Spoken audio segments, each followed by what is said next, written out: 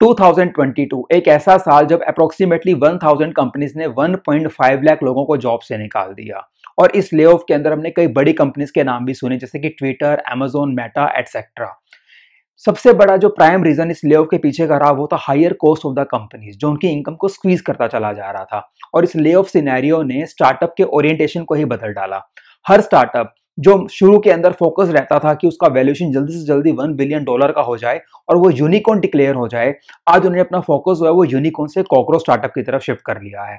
अब उनका जो प्राइमरली कंसर्न है, वो मार्केट के अंदर स्टेबल होना और लॉन्जिविटी पे फोकस करना हो गया है और वैल्यूएशन सेकेंडरी ऑब्जेक्टिव बनकर रह गया है।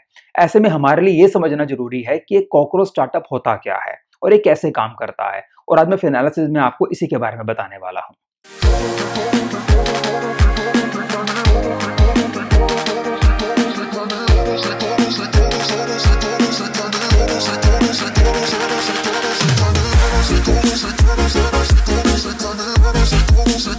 एक स्टार्टअप को कॉकरोच स्टार्टअप इसलिए कहा जाता है क्योंकि उसकी जो फीचर्स होते हैं वो काफ़ी हद तक कॉकरोच से मिलते हैं। कॉकरोच का मेन फीचर क्या है? कि वो बिना हेड के और बिना फ़ूड के लंबे वक्त तक ज़िंदा रह सकता है और उसकी जो ग्रोथ होती है वो एक्सप्लोजिव होती है। सिमिलरली जो कॉकरोच स्टार्टअप होता है, वो भी एडवर्स मार्केट सिचुएशन के अंदर भी सर्वाइव करता है और उसकी जो ग्रोथ होती है वो स्लो होती है बट कॉन्टिन्यूस होती है और बिना ह्यूज फंडिंग के भी वो लगातार धीरे धीरे आगे बढ़ता चला जाता है। कॉकरोच स्टार्टअप के अंदर छह बेसिक फीचर्स होते हैं। आइए अब हम उसको समझते हैं। कॉकरोच स्टार्टअप का सबसे पहला फीचर है, वो है कॉस्ट कटिंग ऐसी कंपनी जो होती हैं फिक्स एसेट पे कम से कम खर्चा करती हैं रेंट पे स्पेस लेती हैं, अपनी खुद की प्रॉपर्टी नहीं खरीदती। ऐसे इंप्लॉयज को हायर करती हैं जो अपने खुद के रिसोर्सेज लेकर आ सकें। फॉर एग्जांपल अगर कंपनी को लैपटॉप की ज़रूरत है काम करने के लिए तो ऐसे इंप्लॉयज को हायर करेंगे जिनके पास खुद का लैपटॉप हो। और वर्क फ्रॉम होम की फैसिलिटी भी प्रोवाइड करते हैं ताकि कम से कम उनकी रनिंग कॉस्ट रहे। कोकरो स्टार्टअप का जो सेकंड फीचर है, वो है रिसोर्सफुलनेस ऐसी कंपनीज़ जब पोटेंशियल इंप्लॉयज को अप्रोच करती हैं तो अपना विजन और अपना एंथुजियाज़म बेचने की कोशिश करती हैं। हायर पैकेज वो ऑफ़र नहीं करते। सबसे बड़ा बेनिफिट इसका ये होता है कि जो मनी माइंडेड लोग होते हैं, वो शुरू में ही फिल्टर्ड आउट हो जाते हैं और सिर्फ़ वही लोग बचते हैं जो क्रिएटिव होते हैं और डेडिकेटेड होते हैं और वो पूरी लॉयल्टी के साथ कंपनी के ऑब्जेक्टिव को अचीव करने के अंदर फोकस्ड रहते हैं। ऐसे जो स्टार्टअप होते हैं, वो अपने प्रोडक्ट और सर्विस पे ज़्यादा फोकस्ड होते हैं। ऐसा नहीं होता है कि एक बार प्रोडक्ट को डिवेल्प कर दिया और अगर स्टार्टअप ट्रैक पे आ गया तो वैल्यूशन के बारे में सोचना शुरू कर देते हैं बट वो कॉन्टिन्यूसली अपने प्रोडक्ट को और अपनी सर्विस को इंप्रूव करते चले जाते हैं।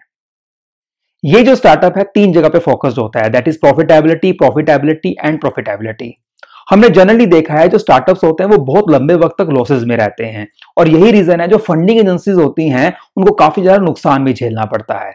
और उसके पीछे का प्राइम रीजन यही रहता है कि ये स्टार्टअप मैक्सिमम मार्केट शेयर की तरफ़ फोकस्ड होते हैं, ज़्यादा लोगों तक अपने प्रोडक्ट को लेके जाते हैं, शुरू में फ्री में भी देते हैं, जब लोगों को आदत पड़ जाती है तो कुछ चार्ज लेना शुरू कर देते हैं। बट जो कॉकरोच स्टार्टअप है, इनका ओरिएंटेशन थोड़ा डिफरेंट होता है। ये कम लोगों तक जाते हैं, अपने प्रोडक्ट को इस तरह से पोजिशन करते हैं कि उसका प्राइस रिजनेबल रहे क्लाइंट को ज़्यादा महँगा ना लगे और कंपनी को लॉसेज ना हो। तो शुरू से ही वो प्रॉफिट में ही रहना पसंद करते हैं। कॉकरोच स्टार्टअप का जो फिफ्थ फीचर है, वो है adaptability according to change market situation ये भी लगातार अपने आप को बदलते रहते हैं।